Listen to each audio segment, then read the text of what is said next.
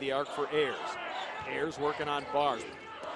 Battles his way down inside, throws it up with the right hand. Baseline, he'll get past Haggerty, cut off by Meyer. Out top with it is Ricks over right side Hyman, got it. Inside the lane is Hamblin, he'll bring it back out. Now he'll go baseline, cut off by Haggerty. A lot of contact down there. 725. Bars hands it off Cooter. He'll take that three, top of the key. Got it. They lead. 29-28 Milwaukee, 7.05 to go. Cooter, left side, another three, and he got it. They are hitting everything, folks. Six of seven. Cut off, there's the triple team. He'll feed to Bars. Underneath with it is Hamblin. Hamblin fakes and gets the dunk. Eight seconds left when he brings it across on the left side. Ricky to the top, Ricky to the free throw line. Pull up Jay from the free throw line, got it. Outside, Franklin, baseline, 10-footer, airs, won't go. Tipped up and in by Franklin.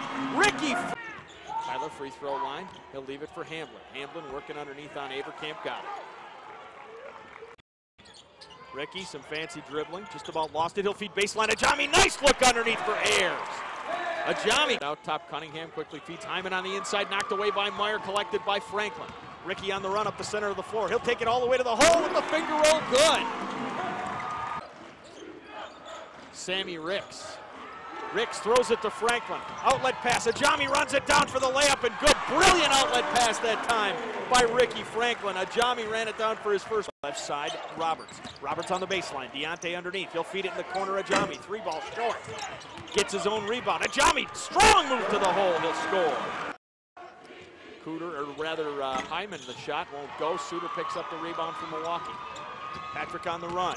He's going to take it all the way himself.